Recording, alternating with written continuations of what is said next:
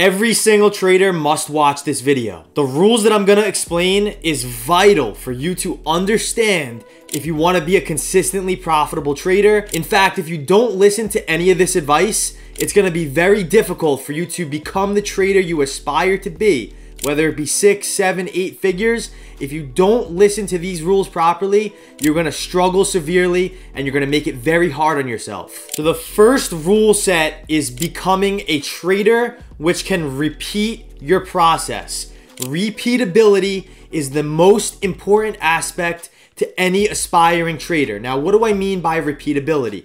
It's going into the market every single day and repeating your trading process repeating you following your plan, repeating that you're controlling your emotions, repeating your edge, and acting upon that every single day day after day, month after month, year after year. Repeatability is the number one most important concept that any trader looking to be consistent in the long run must implement. So if you want to be a consistent trader, you have to understand the definition of what consistency means. Consistency is the quality of always behaving or performing in a similar way or of always happening in a similar way.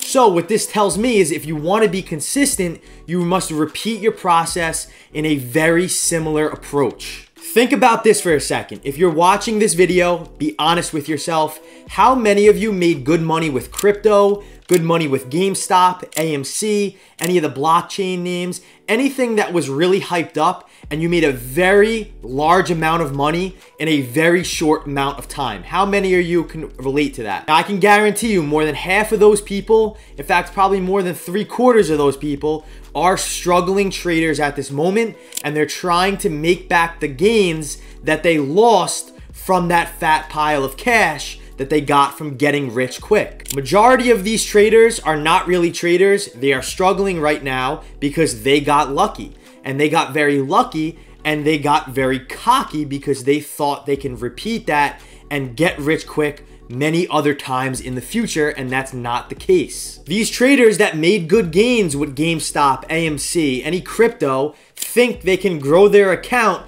just as fast as they got that large gain. And that's not the case. That's the wrong mindset. The quicker you're gonna come into the market, is the faster that you're gonna leave it. And the faster that you leave the market means you probably have not a lot of money left, you're feeling hopeless, you're feeling lost. The worst thing that any beginner trader could do is make a large amount of money in a short amount of time because that's going to make their ego become through the roof and they're going to think they're the best trader, that they could do it every single day. And it's not a once in a blue moon type of thing, that they feel like the greatest and their ego is going to do the trading and they will lose it all if they don't have a process that they can repeat day after day. You don't see GameStop, AMC, crypto running up thousands of percent every single day. It is once in a blue moon. Let me ask you, would you rather be able to have the knowledge that you can climb up a mountain, know where the obstacles are, know which route you have to go to that's gonna get you to the top?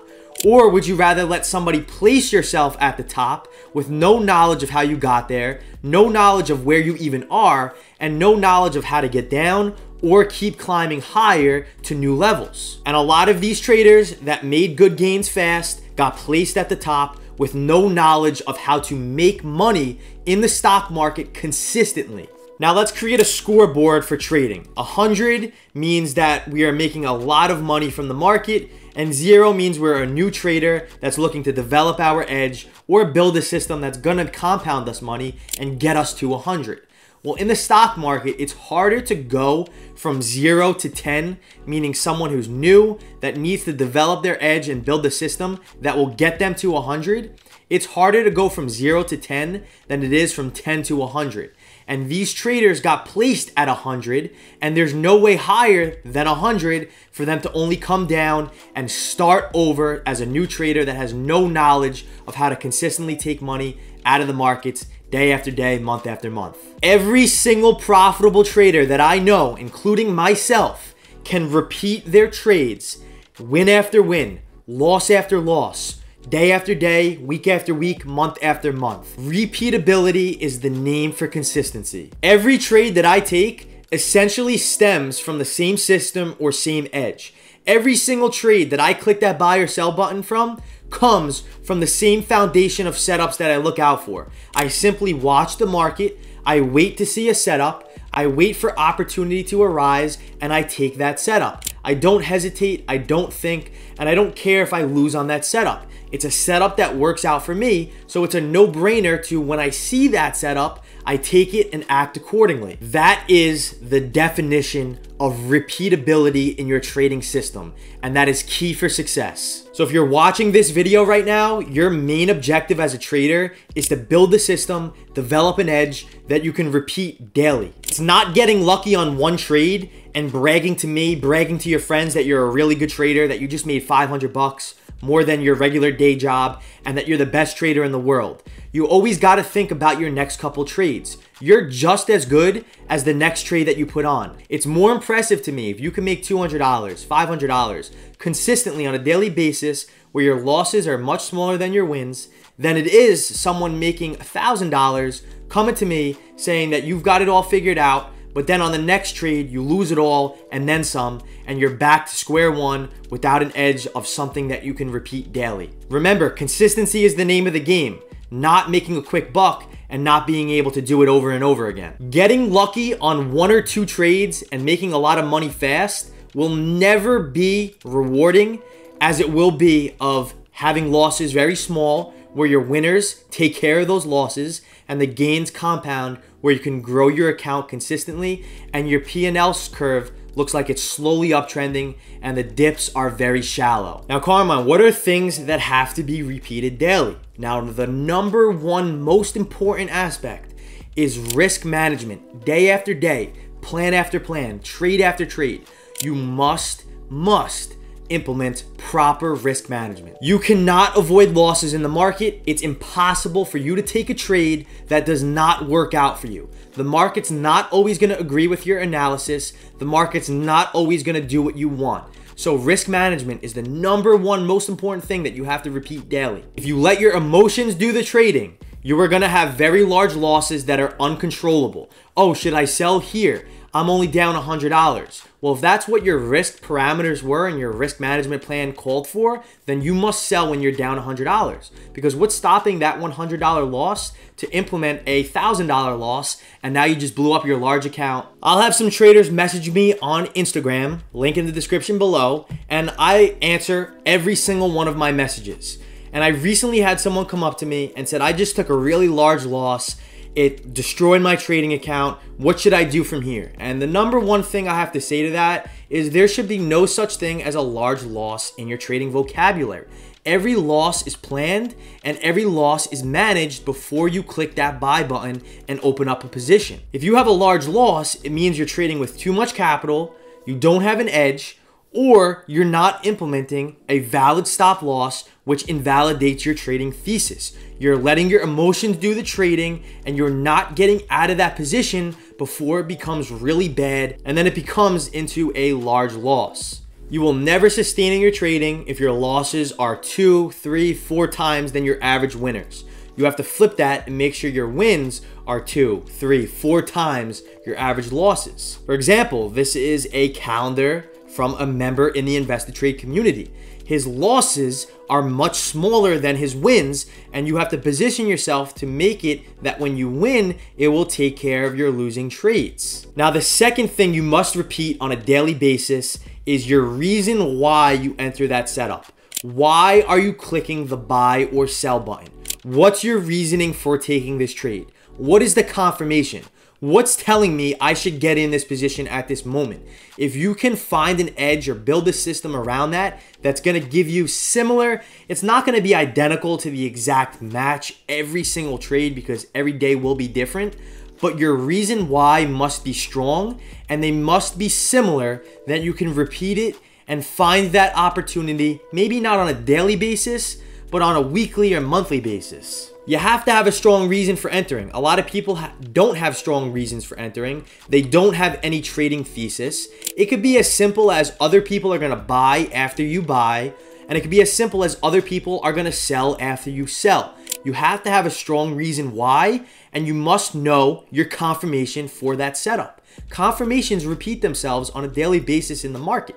The market moves truly because buyers and sellers. So if you can follow their footsteps, you're going to be able to find similar confirmations and similar theses for you to open up a position that has a high odd of working in your favor while you're keeping your losses small and following a valid, proper risk management plan. You also have to calculate your trades before you enter them so that when you're in the position, there's not going to be any surprises that are going to throw you off guard. You accept the worst case scenario before you enter, and anything better than the worst will be a win in my book. And the worst case scenario is going to be your max loss, which is known before you enter that trade. So if you gain anything other than your max loss, you got to look at it as a win, especially if you learn and take something out of the market. There was a point last week where I took three days in a row that were red days. I kept losing trades. The market just was not agreeing. I was mistiming with my entries, and they were all based off of the same trades. I did the same entries, the same confirmations, the same reason why I entered. Now, my losses were small. I always keep them manageable. But the point here was I did not get frustrated. I did not give up. I did not try to tweak my trading system.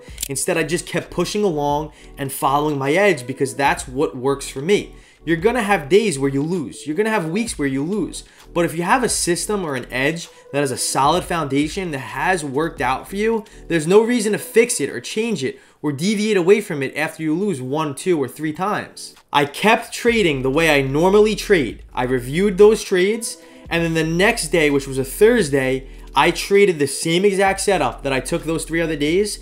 And that trade on Thursday was a really large win and that one winning trade removed all those losses from the three previous days. It's not questioning your system. It's not questioning your ability. It's not saying, oh, should I keep trading? Should I give up? Should I take a day off? It's simply having confidence in yourself, having confidence in your system, keep pushing along and going into the market every single day with your solid system and risk management parameters that you are repeating. If I changed something there, I probably would not have taken that setup on Thursday, and I probably would not have won, and I probably would have lost. Let's say Kobe Bryant gets to the free throw line. He's cold. He's missing two, three, four shots in a row.